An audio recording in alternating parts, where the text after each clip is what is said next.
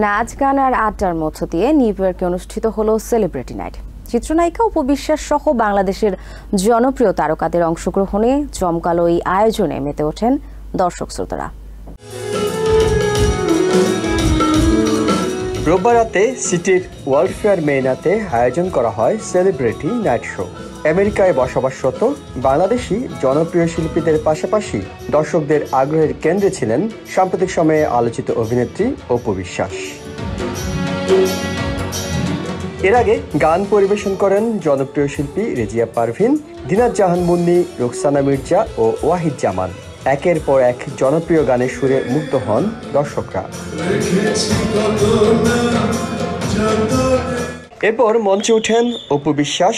গল্পে গল্পে জানান, নিউ ইয়র্কের মানুষের ভালোবাসা তাকে আপ্লুত করেছে। নতুন নতুন কিছু চিন্তা, ভালো লাগা, মনে আসে, তখন মনে হয় আমার দর্শকদের সাথে শেয়ার করি।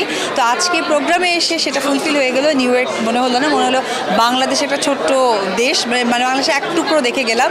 ভালো লাগল, ধন্যবাদ, নিউ ইয়র্কবাসী, প্রবাসী ভাই বোনদেরকে এই অভিনেত্রীর অভিযোগ সামাজিক যোগাযোগ মাধ্যমে ভাইরাল হতে অনেকেই সাকিব খানকে জড়িয়ে নিজেকে আলোচনায় আনেন। এই সময় ডালিট কিং সাকিব খানকে ঘিরে নিজের মুগ্ধতার কথা জানান তিনি।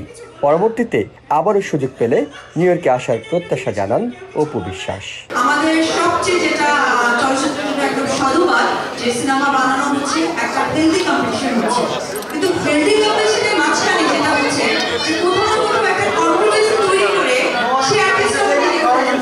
chega a não